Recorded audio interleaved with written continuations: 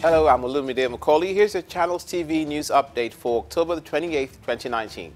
President Muhammadu Buhari is scheduled to proceed to the UK for a private visit after attending the Future Investment Initiative in Riyadh, Saudi Arabia. Special advisor to the president on media and publicity, Femi Adesina, in a statement on Monday, said that the private visit will last from November the 2nd till the 17th after attending the summit in Saudi Arabia. The Lagos State House of Assembly has summoned the former governor, Akinwumi Ambode, for a second time to account for some transactions carried out by his administration. The Assembly wants him to clear the air on several issues, which include unauthorized discounting of promissory note, purchase of 820 buses by his administration, improper implementation of the appropriation law, and non-adherence to the financial regulations of the state.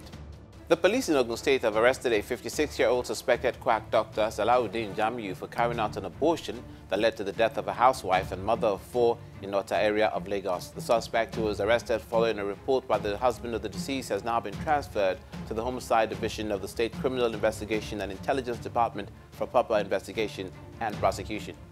On the international scene, California Governor Gavin Newsom has declared a statewide emergency as wildfires whipped up by fierce winds continue to sweep through the area.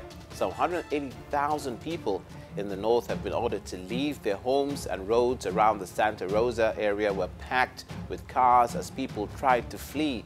Tens of thousands of homes are under threat from the wildfires.